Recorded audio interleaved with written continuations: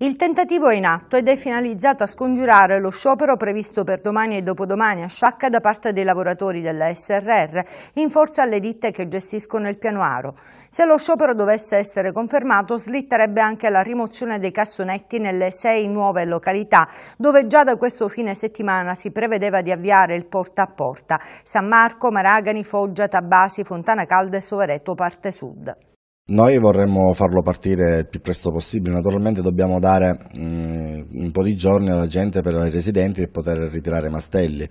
L'obiettivo dell'amministrazione è già togliere i cassonetti per il fine settimana, ma eh, considerato che ci potrebbe essere lo sciopero alle porte,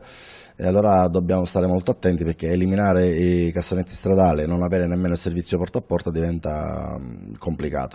La decisione di includere queste nuove zone in quelle che già effettuano il porta a porta risponde a diverse esigenze. Non è solo eh, rimanere dentro quella che è la soglia che impone la Regione, è anche importante perché se, se vi è la possibilità di offrire un servizio alla collettività eh, a costo zero per il Comune, quindi di conseguenza anche per, per i cittadini, eh, secondo me è una, una, valutazione interessante anche perché andremo ad eliminare in quelle zone di transito eh, i cassonetti stradali che sono un'attrazione per alcuni residenti e quindi ci siamo accorti che spesso gente che proviene da zone servite dal porta a porta diciamo, si serve dei, dei, cassonetti stradali. Allora eliminando le postazioni dove ci sarà il porta a porta riduciamo quelle presenti sul territorio, eh, verranno tutte messe eh, come postazioni di prossimità, quindi si farà la differenziata anche sui cassonetti stradali dove rimarranno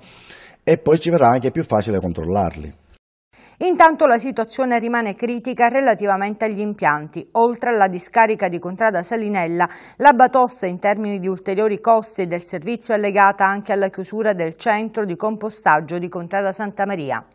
trasportare rifiuti fuori, andare in discariche dove non ti danno la garanzia di un conferimento continuo, perché noi eh, siamo ancora a metà luglio, ma quando arriverà la fine luglio o il mese di agosto ci rendiamo conto che potranno esserci degli altri problemi e se le discariche continuano a chiudere i problemi sicuramente aumenteranno. Il centro nostro di compostaggio quando potrà essere riaperto? Era stata annunciata un'apertura per il 5-7 di, di, luglio, eh, abbiamo parlato con il presidente della SRR, mh, ci hanno detto i primi giorni della prossima settimana.